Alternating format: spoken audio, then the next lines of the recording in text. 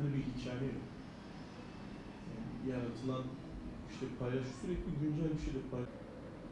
Liseyle de geçen konuştuk. Bu e, projeyle beraber Ege'yi daha da işin merkezine katarak Muğla, e, Muğla'nın ilçeleri, İzmir merkez ilçeleri, Balıkesir ilçelerinde ciddi çalışmalar yürüttük E, ve sonuç itibariyle de demokratik kitle örgütleriyle yaptığımız toplantıda bir miting kararı alındı. Bu mitingin üç temel e, ayağı olduğu bunlar eğitim sendikaları, veli dernekleri ve Alevi kurumları olarak. Yalnız bu üç ayağın üzerine bir gövde oturttuk. Bu gövdede de bütün demokrasi güçleri, emek güçleri aynı zamanda da bu gericileşmeden, bu gerici politikalardan olumsuz etkilenen bütün kesimleri hedef alan, hedef kitle olarak sayan bir çalışma yürüttük. Ve gelinen aşamada mitinge az bir zaman kaldı. Mitingin teknik altyapısı bir taraftan devam ediyor. Onun hazırlıkları devam ediyor. İzmir'de özellikle bir tertip komitesinin oluşmasıyla beraber mitingin resmi başvuruları ve benzerleri gerçekleşiyor.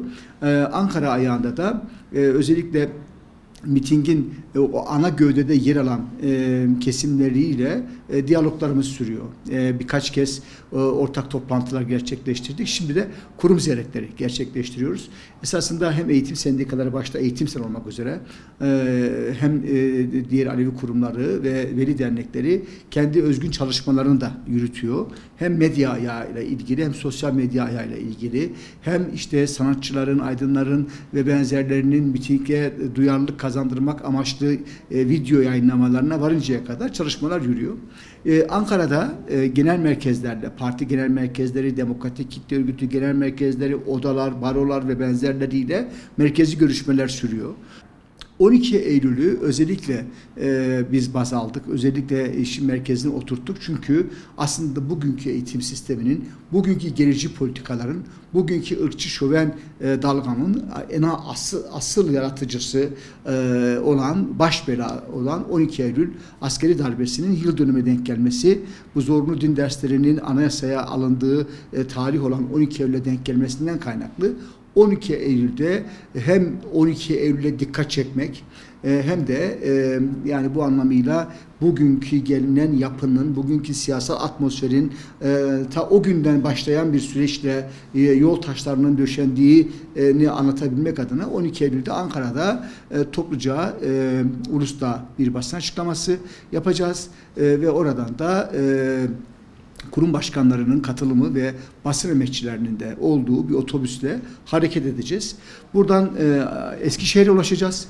Eskişehir'de, e, şehir merkezinde oradaki arkadaşlarımızın yönlendireceği biçimiyle bir e, kısa yürüyüş, basın toplantısı, basın açıklaması gerçekleşecek.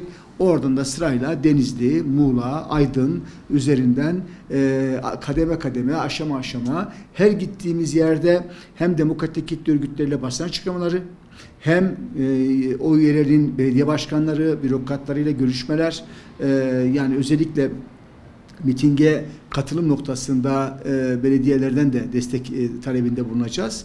E, hem de genel anlamda o şehirlerin dikkatini çekebilmek. Burada sizin aracınızda şunu net bir şekilde söylemek isterim ki bu miting e, bundan öncekilerde olduğu gibi derdimizi, meramımızı anlatmak için sık sık televizyonlarda söylediğimiz gibi bir Alevi meselesi değil. E, bu, bu mesele sadece bu ülkedeki aydınların, demokratların vesairelerin meselesi de değil. Bu mesele toplumsal bir mesele. Dolayısıyla herkesi ilgilendiren bir mesele. Toplum karar verecek. Gerçekten ülke kararıyor ve hep beraber karanlıkta yaşayacağız yoksa bu ülkeyi aydınlatacak mıyız? Yani bütün mesele burada düğümleniyor. Aslında e, e, hangi düşünceden, hangi görüşten, hangi siyasi yapıdan olursa olsun bu ülkede yaşayan herkesin temel meselesi olduğu gerçeğinden yola çıkarak esasında bu gidişata dur demek için toplumun bütün kesimlerinin ortaklaşması gerektiğini düşünüyoruz. Buna inanıyoruz. Aksi takdirde ülke karardığında hepimiz karanlıkta kalacağız. Sadece biz değil. Hep birlikte karanlıkta kalacağız.